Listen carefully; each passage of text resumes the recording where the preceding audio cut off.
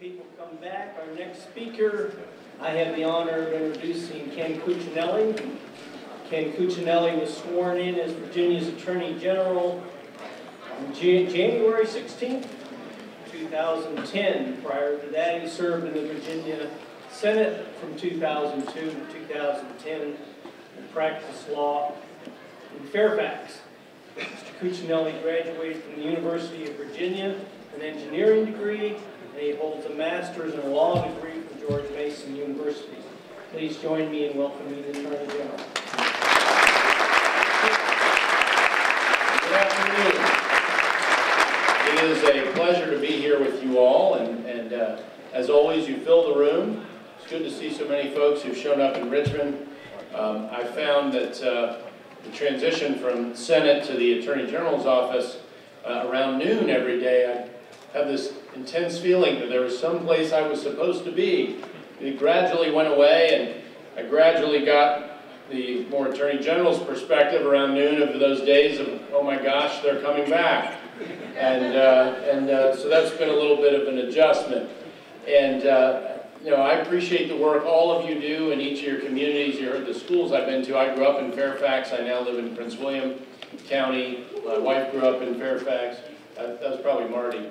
Yeah. Yes. Uh, and, uh, and, and grew up up there as well. We're raising our children there uh, as well. So we're, we're deeply rooted here in Virginia and happy with that. We love this state, love the Commonwealth, and, and we love our part of it.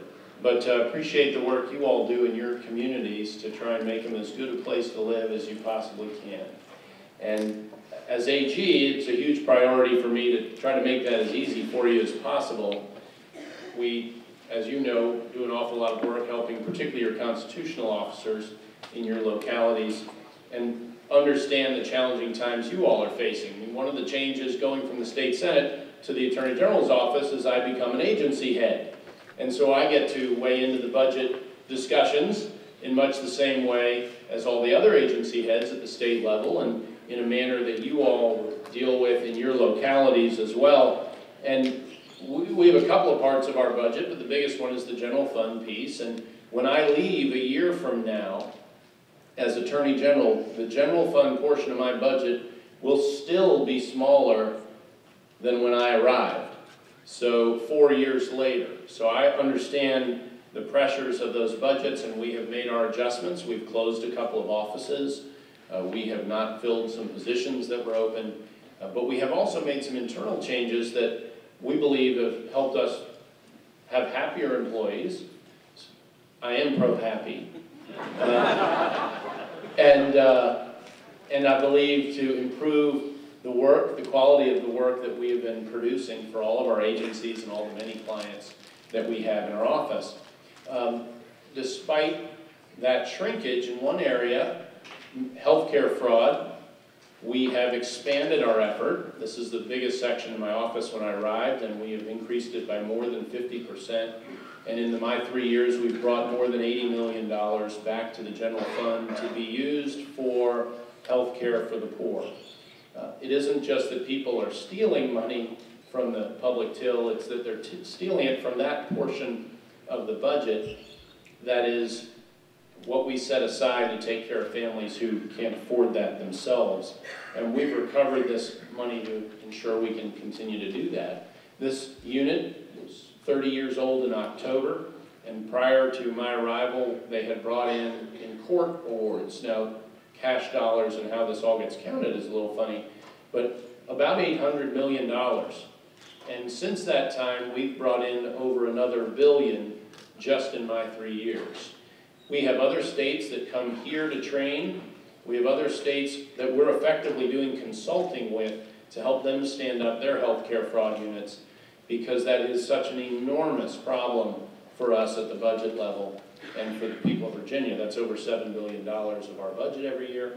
And it, the federal government estimates about 10% of that is either fraudulently paid out or is tainted with fraud in some way. And we have been very aggressive in attacking that. One of the new things that we have also been attacking in my office since I arrived as AG is human trafficking. Uh, Don't let the name fool you, it isn't just moving people around, it is also picking up runaways, it's recruiting girls right out of your high schools.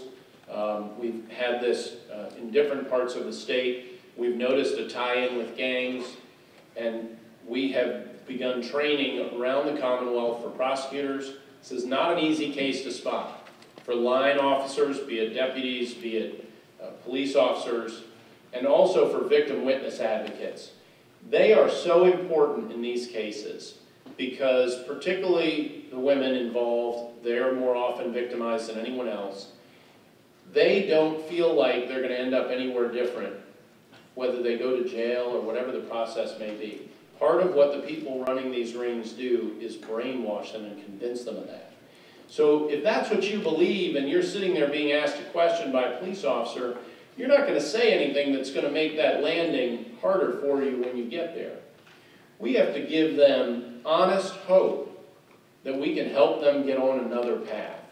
And we have focused a lot of time and effort getting the victim witness advocates who are really the best tie for them to get them the resources they need and to get them confident that they can get out of this horrific trap that they're in. And that critical element has been integrated to our training with prosecutors and line officers. Uh, This is uh, not just illegals being trafficked, it is not just, uh, you know, poor people drifting across the country, runaways, although the people running these rings have gotten awfully good at finding and picking up runaways. Uh, Scary how good they are at it, how quick. Um, But it's also recruiting people, as I said, right out of high schools. Um, In Fairfax, the biggest case we've had was with five gang members. In the Crips case, uh, one of the girls that was recruited out of one of those schools had a 3.9 GPA. Uh, This is, you know, don't, don't fall into a stereotype trap of how you, how you view this problem. They use Facebook, they use Backpage, they're very sophisticated, they're very aggressive, and what they're doing is inhumane to a degree that is hard to describe. Um, We are very aggressive in dealing with this. The Attorney General's office has become the hub in Virginia in addressing this. We have been in many of your communities already, doing training uh, for, including just straight community training. And I've done some of this myself as well, to educate the public about this problem. We've also uh, been dealing with an issue that has been a priority for me since long before I ever ran for office as a state senator in Fairfax, and that is mental illness. It is back high on the radar for many of the reasons it popped on the radar after the Virginia Tech tragedy right here in Virginia. But we have a lot of work to do in this area. Uh, I worked in this area as an attorney for many years and am now working on it from an attorney general's perspective, and you can expect to hear more on this um, later on. Uh, I'm running for governor, you all know that, and it's going to be part of that discussion as well, because a big part of this is, is dollars. Where are our priorities? And, and in my view, this needs to be a higher priority. In fact, right now I'm supposed to be at uh, the governor's task force uh, that he put together after the Sandy Hook tragedy. Uh, That's where I'm going to shuffle out to, so pardon me if I don't stick around. Uh, I'm late already, so uh, uh, I I don't want to overdo that. We've also been prosecuting child pornographers. We're now prosecuting more people on a regular basis than ever before, two to three convictions a month. We've prosecuted more people in the last two years than any two-year history period of the AG's office. And this is an important crime for us to go after because these people, while right now they may be consuming child pornography, the statistics are rough to nail down, but 30 to 50 percent of them will act out on a child or will attempt to if we don't interdict. And we are very, very aggressive. We're pulling more images off the internet than ever before. We're prosecuting more of these folks than ever before, and we're doing it at an ever accelerating rate. We believe this is some of the best crime prevention that we can do to keep children safe, and we're very motivated to do that. We uh, also, not surprising, are still going after gangs the way we always have. We've gotten more longer sentences than ever before, literally hundreds of years in a couple of cases. Uh, The longest one we got was down in Newport News, it was life plus 237 years. Now, in July, America will be 237 years old. Uh, so that's the kind of scope. I don't think he's going anywhere. Um, but that took very close cooperation with that police department, the Department of Corrections. There's a lot of connections that have to be made here uh, to make that case work. We also have put a lot of focus. Prosecuting them is, is fine, it's well, it's part of our job. But we want to keep kids from going in these gangs in the first place. And we spend a lot of time, me personally, in schools, talking to kids. We've created some resources. The most recent one we've added is called The Big Lie. It's a DVD. For those of you, and all of you do it in one way or another, who interact with children, you ought to watch this. It's 30 minutes long. There's a previous resource from our office called The Wrong Family. For you all, for educators, for law enforcement, for adults. The Big Lie was made for kids. And it starts off with an interview with a gang member. These are not actors. And he walks through what he's going to say to that kid to get him to join the gang. And so the interviewer walks through this process, and there's a little bit of a lull, and he says, So, is any of that stuff true? And he says, No, none of it is. None of it. Thus the name, the big lie. We would much rather keep them out and dry up the gang's pipeline and keep those kids with options in life that they won't otherwise have than do the best prosecutions in the world. Uh, that, that is a high priority for us, uh, means an awful lot to me.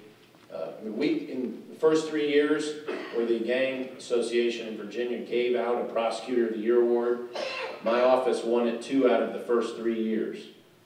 We're very good at that. But we'd rather put ourselves out of business.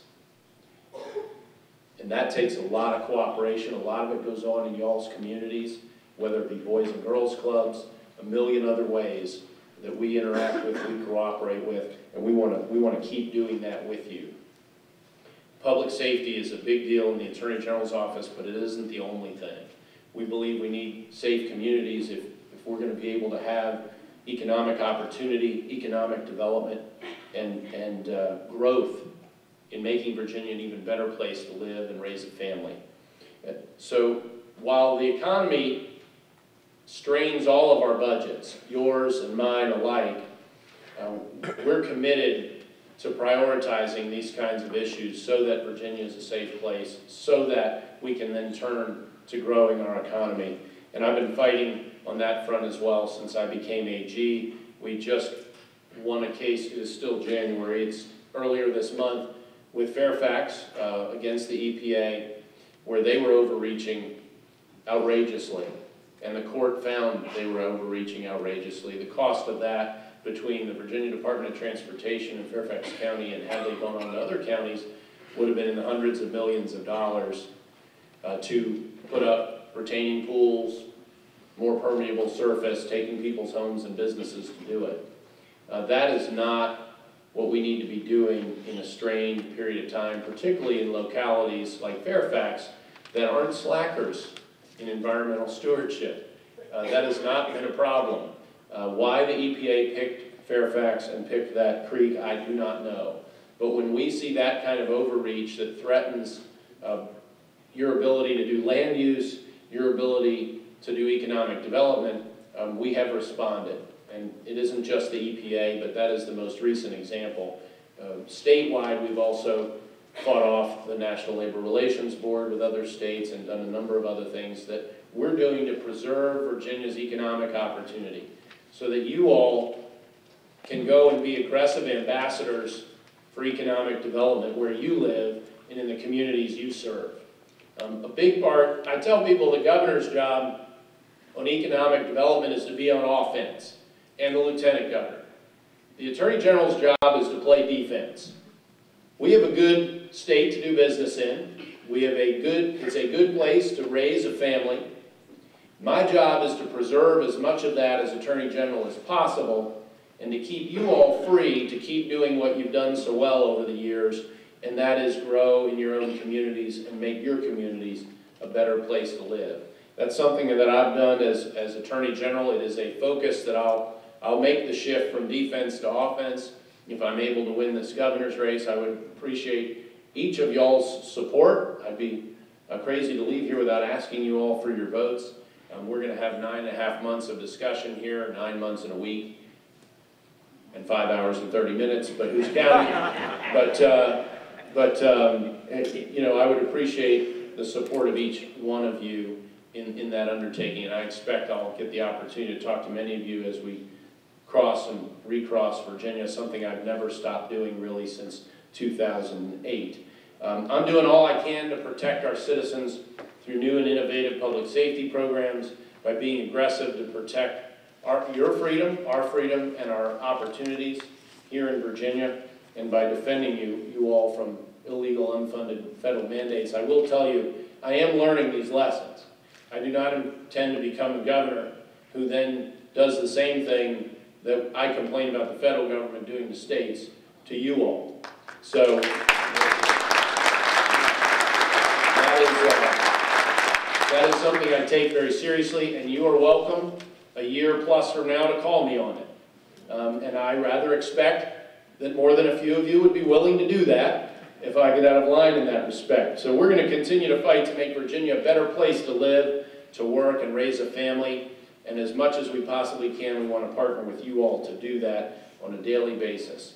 Virginia is a great place to be, a great place to grow up, a great place to live, and a great place to work. But we can always, always, always do all of that better. And I look forward to working with each of you all over not just this year in the Attorney General's office, but I hope a few more years in another office to continue to keep doing that. Thank you very much for inviting me here today, and God bless every one of you. Thank you.